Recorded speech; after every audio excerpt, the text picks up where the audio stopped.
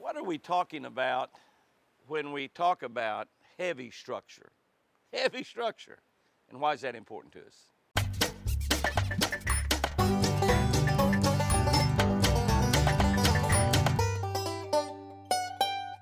Good morning, guys and girls. Good morning. It may be a rainy day in Georgia, but it is a windy. I'm talking about windy day in Oklahoma.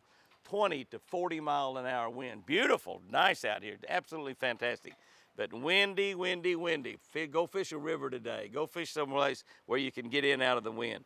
On May the 8th, we're looking at Daniel 10 12, the book of Daniel. Daniel's, that's the dude they put in the lion's den, turned it into a petting zoo. Exactly what he did.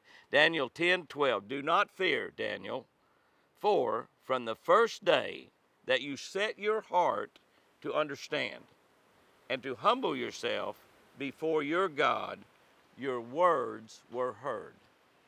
That is the archangel talking to Daniel. That's an angel talking to Daniel. Powerful angel. One time, an angel in the Bible killed 80,000 men. That's how powerful, that's how strong angels are. And he told Daniel, Do not fear, for from the first day you set your heart to understand and to humble yourself before your God. Daniel made God his personal God. Your words were heard. God started listening to his prayers from the very moment that he humbled himself. We're often asked, What's the first thing you do or look for on a strange lake?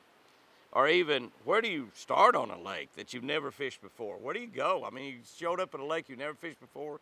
It's one thing that we did literally hundreds and hundreds of times in our tournament career. One really easy place to start is to turn over a few rocks around the boat launch ramp, check the color of the crawfish. Turn a few rocks over, pretty soon you'll turn one over and there'll be a crawfish there. Reach down, pick him up, look, see what color he is. Is he real light color, kind of pale, washed out color? Is he brown? Does he have a little red, a little green in him, a little orange in him? Another is to simply drive around the boat ramp while your partner is parking the truck. Just drive around out there in front of the boat ramp, idle around, be looking at your Garmin fish finder, and see how deep the shad or the bait fish are in that particular lake you're fishing. Just kind of idle around out there watching your Garmin locator. Now, you know what color lure you should be using, and you know how deep you need to fish. You solved a big part of the problem right there, and you know nothing about the lake. But what's the first thing we do when we approach God? What is the first thing that we need to do when we approach God and we're talking to Him, we're raising petitions in front of God that we want Him to answer?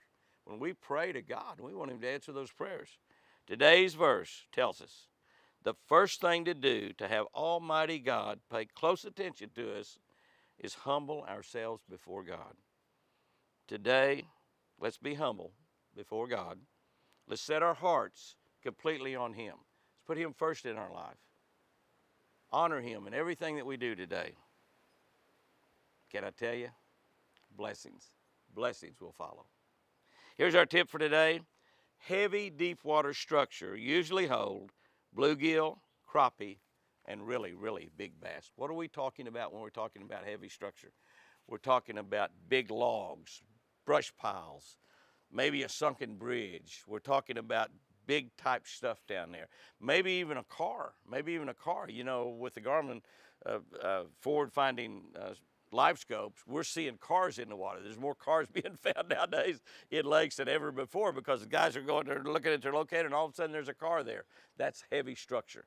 That type structure holds all kinds of fish and really, really big bass. Guys and girls, go out there and have you a great one today. And remember,